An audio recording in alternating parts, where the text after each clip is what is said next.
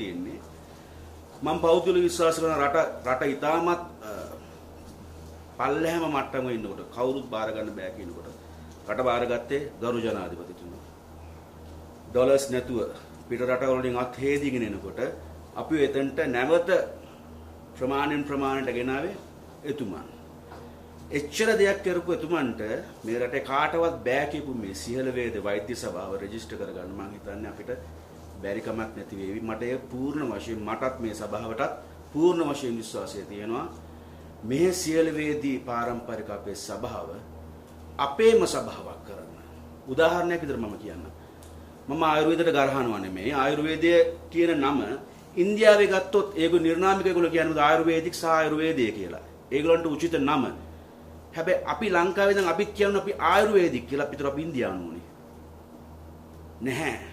රාවණා යුගයටත් එහා ඉඳන් ආපු පාරම්පරික වෙදකම සිහල වෙදකම රාවණා වෙදකම මේ ඔක්කොගෙම එකතු වෙලා ආපු හෙළ වෙදකම හෙවත් සිහල වේදී වෛද්‍ය සභාව.